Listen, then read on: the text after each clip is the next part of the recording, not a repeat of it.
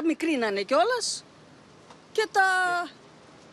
Και τα κρυβίνανε. Με το ζόρι τα βγάζουν πέρα πλέον τα νοικοκυριά, καθώς χρειάζεται να βάλουν βαθιά το χέρι στην τσέπη για να αγοράσουν ακόμα και τα απολύτως απαραίτητα. Πάρα πολύ ακριβά. Συνεχώς ψάχνουμε για τις προσφορές. Οι όλο ένα και αυξανόμενες τιμές έχουν οδηγήσει τους Έλληνες να ξοδεύουν στο σούπερ μάρκετ περίπου μισό βασικό μισθό το μήνα. Σύμφωνα με έρευνα του Οικονομικού Πανεπιστημίου Αθηνών, η μηνιαία δαπάνη στα σούπερ μάρκετ έχει εκτοξευτεί από 255 στα 324 ευρώ, αύξηση 27%. Χάλια.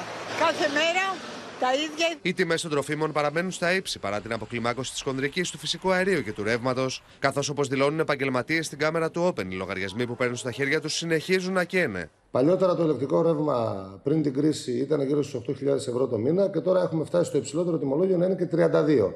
Βέβαια, εμείς κάναμε περικοπές στην ενέργεια όσο πιο πολύ μπορούμε, αλλά και πάλι είμαστε στις 20-22.000 με τις περικοπές μαζί. Εν τω μεταξύ αυτή η αύξηση συμπαρασύρει και όλα τα υπόλοιπα προϊόντα της πρώτης ύλες, ακόμα και τα ενίκια. Οι 9 στους 10 καταναλωτές αντιμετωπίζουν δυσκολίες εξαιτίας των ανατιμήσεων βασικών αγαθών και της ενέργειας.